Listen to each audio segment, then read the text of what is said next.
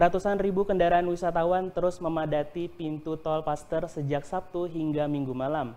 Tercatat ada 109.599 kendaraan yang kembali ke kotanya masing-masing dalam waktu dua hari. Kendaraan terus memadati tol Paster Kota Bandung pada Minggu malam.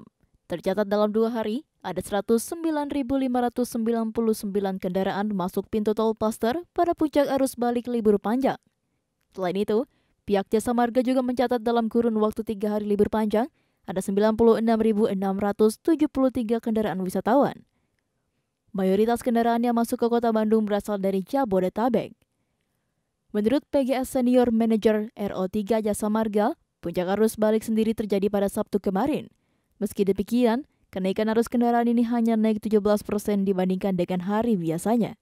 Berpanjang ini memang uh, ada kenaikan terutama di hari Sabtu ya untuk uh, pastor entrance artinya yang masuk ke kota Bandung gitu ya dari arah berbagai macam arah. Itu kenaikannya yang sangat signifikan itu di hari Sabtu. Itu sekitar 17,05 persen. Tapi secara rata-rata di gerbang tol Pastor Entran ini kenaikannya hanya 7,36 persen dari uh, eh, LHR normal. Kemudian untuk yang gerbang tol Pastor exit atau Pastor 1 ya kalau di kita itu Pastor 1 itu kenaikan rata-ratanya hanya 0,84 persen. Jadi memang uh, kenaikan yang tertinggi ada di hari pertama, hari Kamis. Yang selebihnya adalah malah negatif.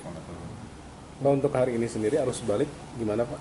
Arus balik uh, terlihat masih normal ya kami lihat seperti hari-hari yang kemarin pada saat hari Sabtu kemarin ya. Jadi eh, kondisi di rest area pun masih lancar, kemudian di eh, beberapa titik rest area lancar, di lajur pun masih lancar. Hanya tadi memang ada di interchange pada larang yang eh, mengalami kepadatan ya karena adanya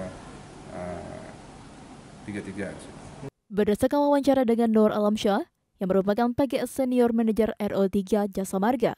Diprediksi, kendaraan wisatawan akan terus memadati tol Paster hingga malam nanti mengingat banyak masyarakat yang akan kembali beraktivitas pada esok hari.